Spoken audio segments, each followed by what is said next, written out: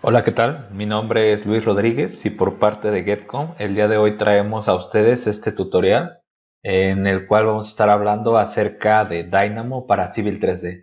Si bien Dynamo para Civil 3D eh, tiene prácticamente desde mayo eh, del año pasado, en su versión 2020 cuenta ya con Dynamo por defecto. Anteriormente, en las versiones del 2017 al 2019, programadores habían integrado eh, con uso de la API poder interactuar entre Dynamo y, Civil 3D, pero hasta 2020 fue cuando ya se encuentra dentro de esta herramienta. Sin embargo, una parte importante es que una vez que instalas Civil 3D no va a aparecer por defecto eh, Dynamo. Si nos vamos a la página de dynamobeam.org podemos darnos cuenta que bueno aquí aparecen eh, los diferentes software, bueno, y faltan algunos más en los que Dynamo ya se encuentra integrado. Como pueden ver, Civil 3D y ahorita está dentro de la versión 2.4 y bueno, eh, Revit pues prácticamente también está en la versión 2.3 si no me equivoco. Sin embargo, esta página no me permite descargarlo. Para poder descargar el plugin, por así decirlo, de Dynamo, tenemos que irnos a nuestra cuenta en Manage Autodesk dentro del apartado de actualizaciones y productos.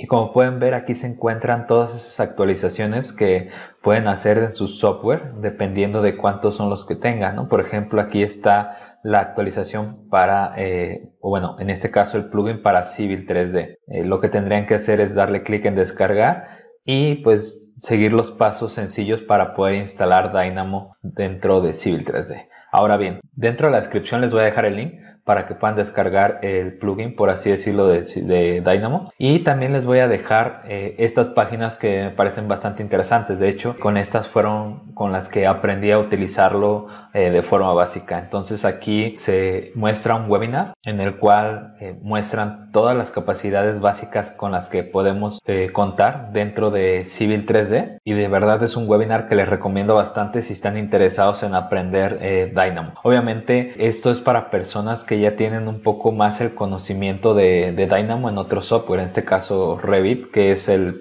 primero, o Advanced Steel, que fue como de los segundos en los que se empezó a utilizar. También dentro del apartado de Forum Dynamo Beam se encuentra un apartado dedicado a las preguntas que llegan a tener sobre Civil 3D. Si son ustedes usuarios básicos o intermedios de Dynamo, les recomiendo que vengan a esta página y que, eh, bueno, eh, se informen un poco de cuáles son las funcionalidades que tiene. No tanto de cómo funciona, sino de qué es lo que se puede hacer con, esta herramienta. Sin más por el momento, vamos a darle una pequeña muestra de lo que se puede hacer con Civil 3D. Entonces, para esto voy a, abrir primero un nuevo archivo eh, para que puedan ver en dónde se encuentra. Una vez que esté instalado, eh, se va a encontrar también en la pestaña de Manage, de gestionar y en el apartado de programación visual. Como pueden ver también tenemos, ahora se llama Dynamo Player, ya lo homologaron en eh, que lo tenemos en los otros software y como pueden ver es la misma interfaz que tenemos en Revit.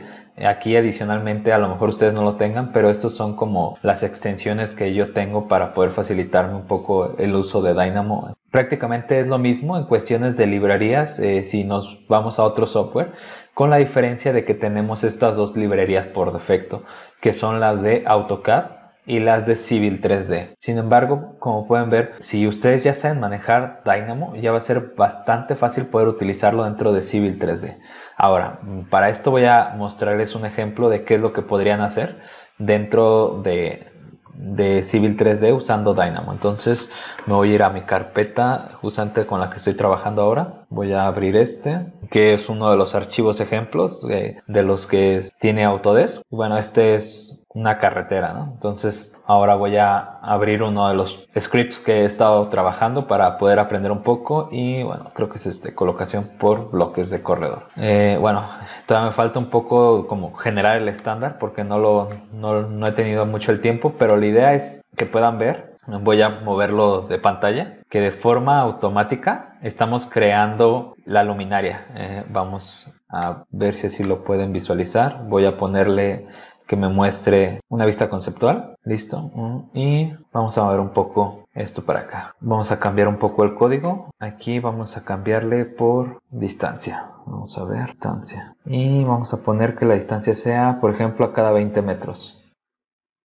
Como pueden ver aquí eh, de forma fácil se está colocando la luminaria y bueno esto va a depender obviamente de eh, la base que estemos colocando es prácticamente igual que en Revit, ¿no? En este caso, modelar en, Civil 3D es bastante complejo por la cuestión gráfica que requiere, eh, se alenta bastante. Utilizamos el corredor y el Future Line para poder eh, utilizar esa, ese Future Line de base para poder colocar la luminaria. Pero realmente es, es un código bastante sencillo y bastante potente, ¿no? Ustedes pueden ver que de forma muy rápida se pueden crear todos estos bloques y, bueno, esto es ahora con luminarias, pero también puede ser con, con las barras de, de, protección, con la colocación de, los muertos en, en, ferrocarril. Y bueno, por ejemplo, aquí sale un warning, pero es eh, porque hay algunos elementos que no están eh, siendo considerados, pero está corriendo bastante bien. Este es un ejemplo de lo que ustedes pueden hacer dentro de Civil 3D y bueno, también se pueden colocar como los property set, que es justamente algo de lo que hicimos en el concurso eh, Competition, que es como las propiedades dentro de Civil. Y bueno, si ustedes no eh, saben todavía Dynamo, les recomiendo que empiecen con un módulo básico. Y de hecho, eh, un poco promocionando, dentro de, mi canal de, de, Udemy tengo justamente este curso que te puede servir para poder empezar si estás interesado. Si bien está dirigido en Revit, se enfoca principalmente a los fundamentos básicos de la programación, por lo que una vez que eh, termines este módulo, va a ser bastante sencillo que puedas entender cómo funciona dentro de Civil 3D una vez que empieces a ver, por ejemplo, el webinar o que empieces a, a ver los videos que tienen estas páginas que les voy a dejar dentro de la descripción. Bueno, espero que hayan disfrutado de este tutorial y hasta luego. No olviden suscribirse.